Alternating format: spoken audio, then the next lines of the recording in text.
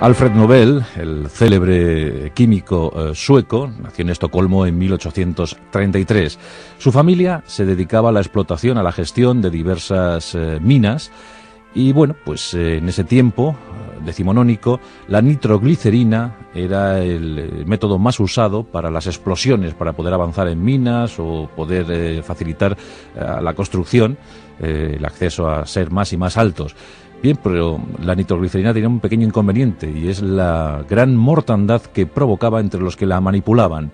Por eso, y por un suceso luctuoso que se dio en la familia Nobel, Alfred se puso a trabajar para crear nitroglicerina segura.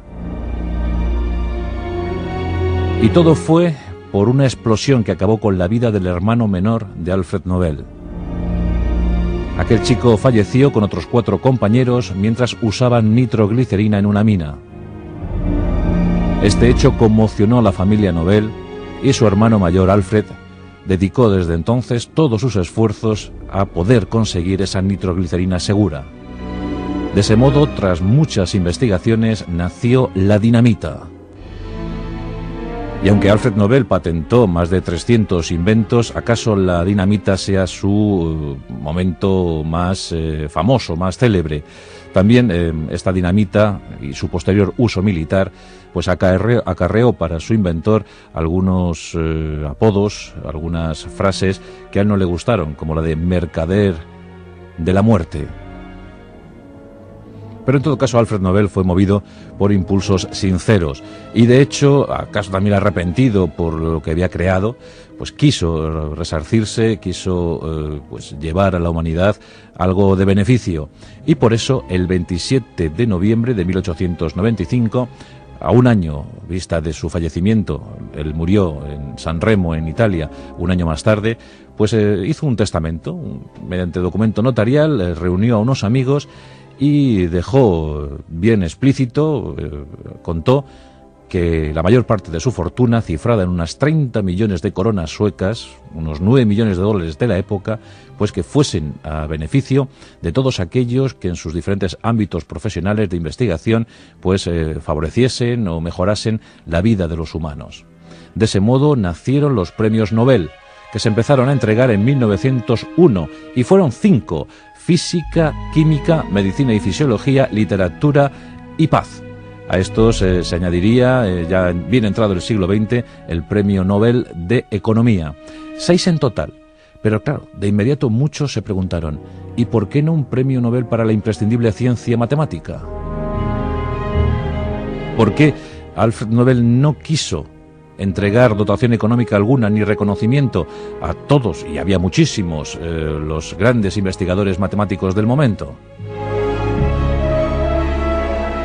Según se cuenta, Fred Nobel, que permaneció soltero toda su vida, eh, bueno, que permaneciera soltero no, no quiere decir que no se enamorase, y lo hizo, lo hizo en alguna que otra ocasión, pero según se cuenta, tuvo un enfrentamiento con un gran matemático sueco, un paisano suyo llamado Magnus Gosta Migna Leffler.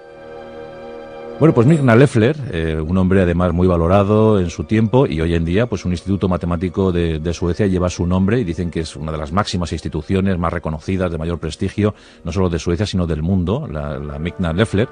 Bueno, pues dicen que tanto Nobel como Migna Leffler pugnaron por el amor de una jovencita.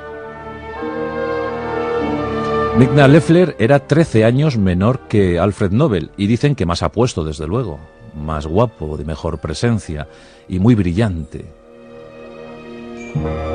Alfred Nobel eh, pretendió a una secretaria, la misma que pretendía Migna Leffler. Durante un tiempo lucharon por el amor de esa joven y desconocemos cómo acabó la historia. Lo cierto es que si Alfred Nobel permaneció soltero, y Midna Leffler, este sí, se casó con Sidney Ann Lamford. Bueno, pues Ann Lamford, esta muchacha no sabemos si era aquella secretaria, pero desde luego pertenecía a muy buena familia. Pero lo que se dice, lo que las malas lenguas afirman, sostienen, es que desde ese momento, desde ese desencuentro, desde esa desilusión contraída por Alfred Nobel, eh, por culpa de Midna Leffler, pues desde entonces odió no solo a su rival, sino también a lo que él representaba, esto es, las matemáticas.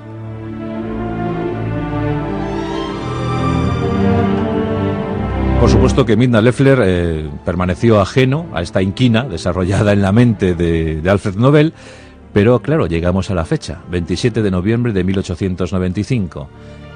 Y hay quien dice que ese día Alfred Nobel dijo o preguntó, en caso de instituirse un galardón dedicado a la ciencia matemática, ¿Midna Leffler tendría alguna oportunidad de ganarlo?